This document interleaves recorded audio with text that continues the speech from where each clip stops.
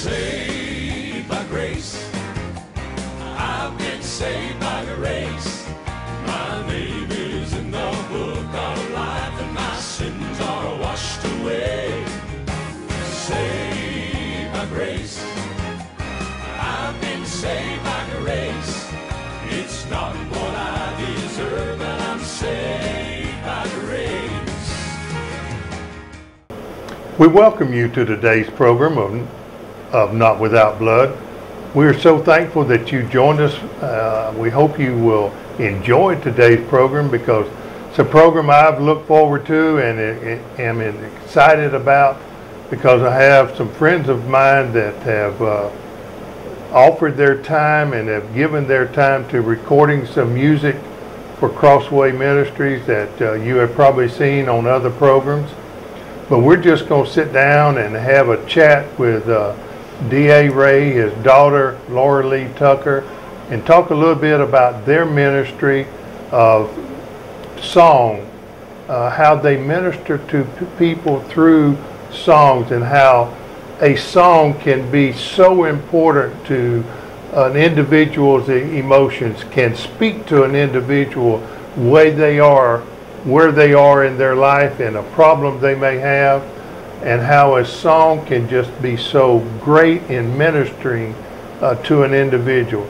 I know personally myself, I probably shed a tear and cry quicker on music uh, than I do from a preacher preaching. Uh, I don't know about many of you, but uh, the the Word of God ministered through a song uh, can just meet many needs and can, as I say, can really bring a tear to my eye quicker uh, than most anything else. But without further ado, we're just going to have a, a family conversation, and I would like to introduce to you Laura Lee Tucker and her father, uh, D.A. Ray. Hey, And- y'all. And D.A., uh, as we uh, start out talking about music, uh, how long have you had your uh, band, your gospel group of Crosswalk Bluegrass Gospel? Um, well, how long we had the band? We we started when um, Laura Lee was eight years old. Um, We won't say how long ago that is. Well, it was. Uh, we just figured it up. It was 18 years ago, uh, That's fine. and, and That's she's fine. 26 now, and, and started a family of her own. But um, yeah, that's that's when it started. Uh, right. When she started playing music, we uh, we started playing in the nursing homes and churches and uh, social gatherings, and uh, that's when Crosswalk uh, was. Uh, that was the onset of Crosswalk. All right, and you've been ministering in, in bluegrass gospel or just gospel or both, you know, southern gospel? Uh, or just, uh, you concentrate on bluegrass gospel now? Right. Um, well, like I said, we started just singing uh, in church hymns, um, uh, and, and then it's just evolved into the bluegrass genre of uh, gospel music, and um, we've taken Southern gospel music and and uh, and and altered it uh, and set it to a format of uh, bluegrass string instruments, and um, it's appealed to us and it's appealed to others uh, in in bluegrass festivals and churches and what have you. So. Um, we've taken uh, ca- country music. Uh, in fact, uh, we was talking about the song "House of Gold" that Hank Williams had written, and um, uh, it's just it's amazing that we've been doing that for for uh, you know 15 years, and we'll go to a bluegrass festival. In fact, last this summer we went to a bluegrass festival over at Paint Rock, and um, Estelle Forks, Alabama, and a little old man come up and said, "Do y'all know that song, House of Gold?" Right. And um, it was Fortunately, you did. yeah, it was a joy to sing. Right, because that was a blessing to him. Yeah. Laura Lee, when you were eight, did you think you would still be doing this 20 years later? 18 years later? I guess I guess so. Um, I didn't I didn't have in my head you know how long or how soon I would quit or how long I would play, but um, I just I knew when I picked the mandolin out in the music store what I wanted to do, and I saw that it brought Dad so so much joy when he played. Right. I wanted to be a part of that, so Right. I was really glad that he bought that for me. And, and you chose the instrument. Yeah, um, I actually, um, he said, look around here, Laura Lee, and see which ones you like. And I went straight to a mandolin, and I said, I really like this one, Dad. And he said, Well, why do you like that one? I said, It's really cute. That's the whole thing that got it started. All and uh, he said, Well, um, here, take it down and just play it and see if you, you know, like it. And of, of course, at that point, I had no lessons, but um, just plucked on it a little bit. And he said, Well, do you still like it as much as you did when you first saw it? And I said, Yeah, I really do like this. It's so cute. And he said, Well, good, because I just bought it for you. It's yours. Great. So, Great. Did you take lessons yes, eventually? I took lessons for three years with uh, Gerald Parker there at Forbes, which is now Emerald Right. in Decatur. Good, good. And have been singing ever since Yes. you were eight. Uh, we're going to take a, a short bl- break and feature Laura Lee on one of the songs that uh, she likes, uh, and, and we want to do that right now. And this is a song called "Everybody Wants to Go to Heaven." We know you will enjoy it. Everybody wants to go to heaven, but nobody wants to die.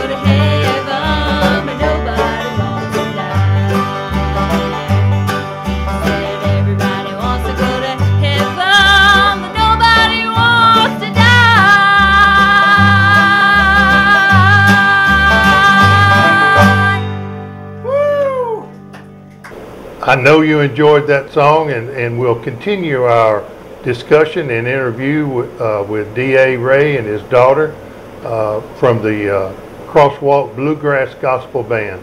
Uh, Laura Lee, when you sing that song and it ministers to people, you can obviously tell when you're singing to an audience that some people are really ministered by a certain song.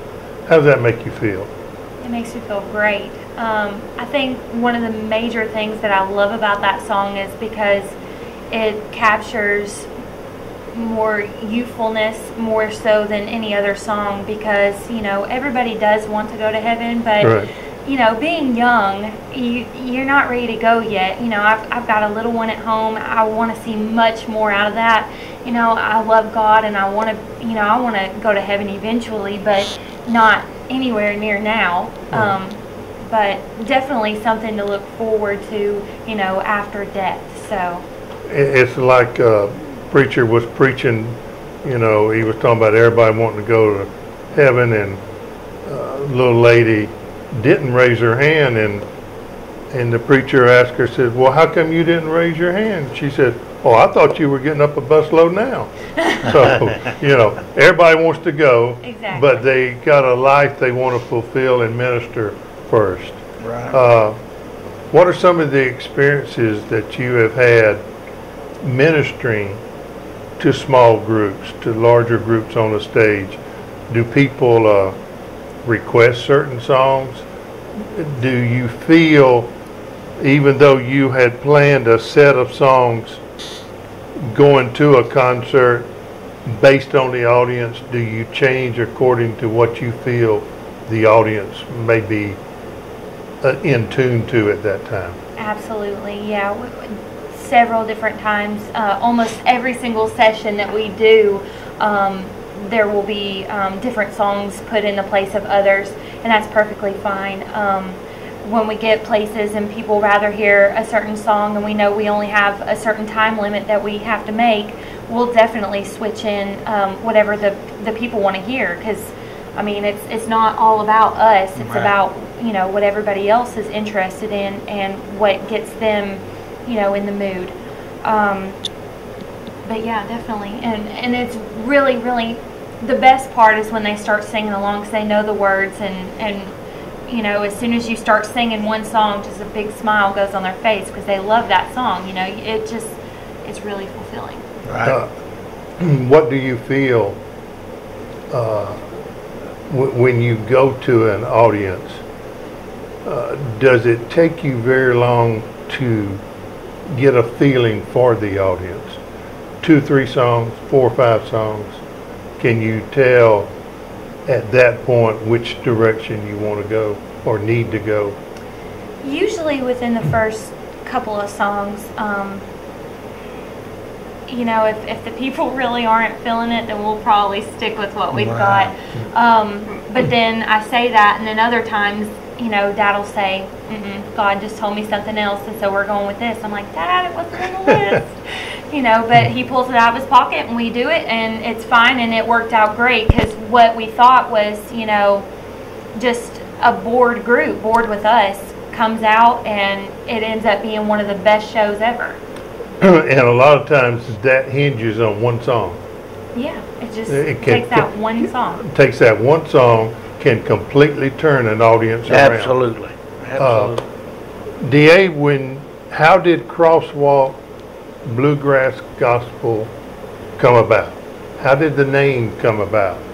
Uh, Uh, just um, from Bible study, I, I, I, studied um, oh, several years ago, and in fact, uh, on our on our T-shirts, uh, well, our first album, matter of fact, um, uh, was a step in faith. Was the name of the, the CD, and there was a little stick man on there that was carrying a cross, and um, it was uh, it, it, it come from the scripture, uh, pick up thy cross and and and walk with me daily, and um, so uh, that's what we intended to do was uh, when we got when we got in this thing we started out singing for the lord. Um, uh, we wanted to make jesus happy. Um, we wanted to make people happy with uh, what they were hearing and uh, we wanted to enjoy it ourselves so um, it just uh, crosswalk was just a no-brainer is uh, um, back, uh, the internet had just just come on the scene. I know 18 years ago, you think, well, it's been around more than that, but it Right. had. But all the websites and stuff was, and the Bible study was coming up Crosswalk, and um, and so I, I just I grabbed it out of the drawer, Crosswalk Bluegrass Gospel, and um, uh, it's stuck. Uh, uh, we had a website, uh, closed it down at the first of this month. Luke Howell uh, has opened us up a brand new website, www.crosswalkbluegrassgospel.com. Um, they can, the folks can go, uh, if you're listening, you can go and uh, on the internet and uh, uh, read all about us. Uh, we'd love to hear Right. from y'all, Right. um, and um, as much as y'all would like to hear from us. And while we're speaking of music, there's uh, two CDs that you can go online and order, either through their website or you can uh, contact us at the ministry and, and we will make sure we get the information to uh, DA and uh, his band. Uh, You've got one here, Crosswalk Bluegrass Gospel. I'm not normal anymore. Uh, You know, if you know God, you will not be what you were before Amen. you will, if you don't have a change and people don't notice it, then you haven't met the master. You, you've had an emotional experience, but if people cannot tell your change That's right. in your walk, in your talk, and in your life, then instead of having an emotional experience, you need to have an experience where God really saved your soul. And then there's a, uh, another project here. It's going to be worth it all. Either one of these are great. You will hear cuts from these two projects uh, on various shows that we do. And speaking of music right now, we're going to cut away and do have Laura Lee do a, another song for us called No Grave on the Hillside of Glory. We hope you enjoyed this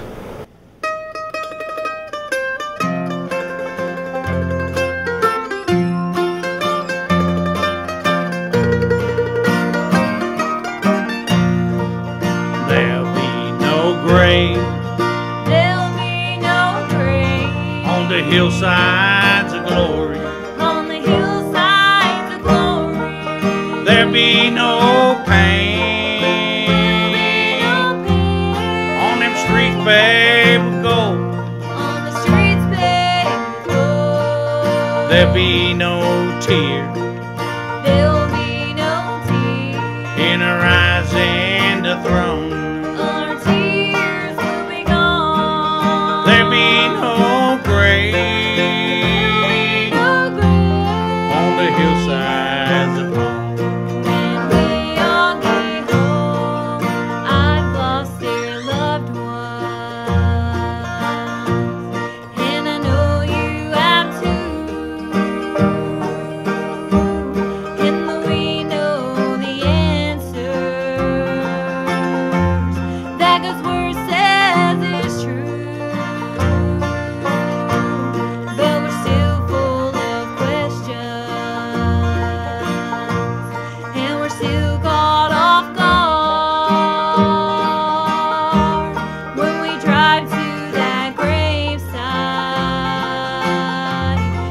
And watch loved ones let down.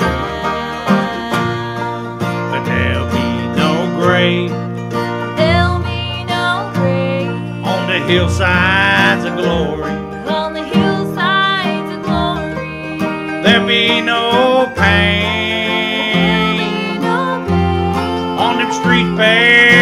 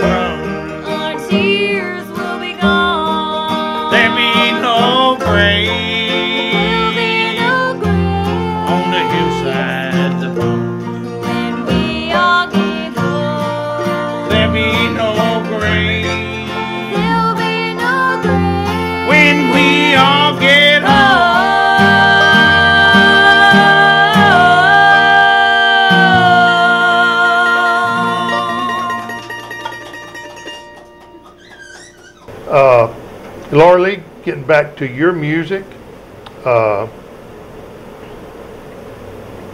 how would you, how do you see the band? Would, would you like to sing uh, once a month in a concert? Would you like to sing every other week?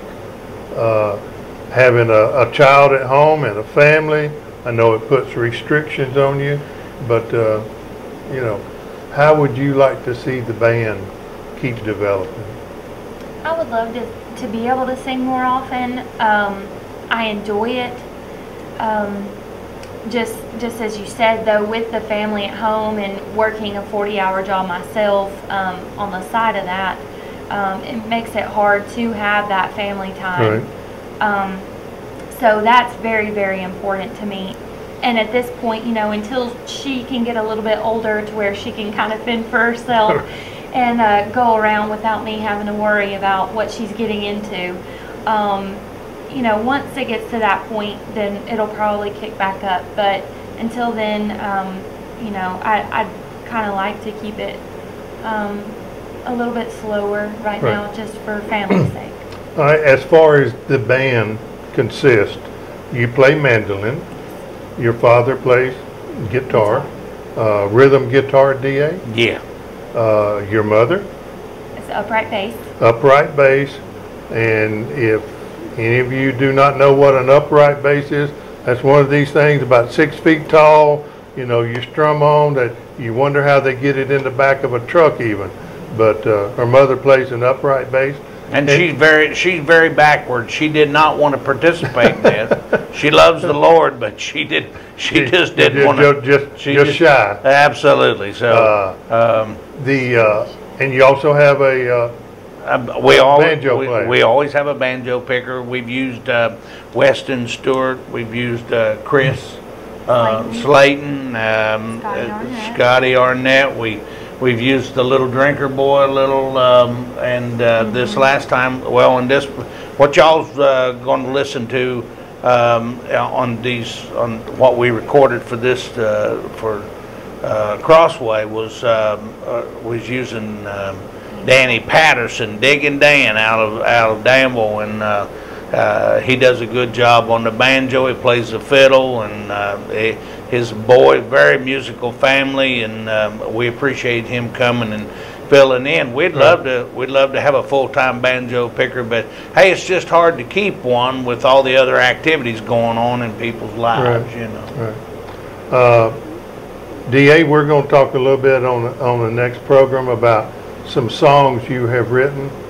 Uh, do you enjoy that part of the music? Oh, absolutely. I, I'll tell you, there's nothing more uh, bone bone rattling and and chilling to the spine to to have the Lord give you a song and you just can't write it fast enough. Right. You'll say, "Lord, s- slow down. I I just can't do it." You Right. know, and. Um, so it's uh, oh yeah I, I just I love studying the scriptures I love uh, I love meeting talking to people as you can tell I'm awful bashful Right. uh, but um, You yeah. and your wife balance out each other quite Yeah, well. Absolutely.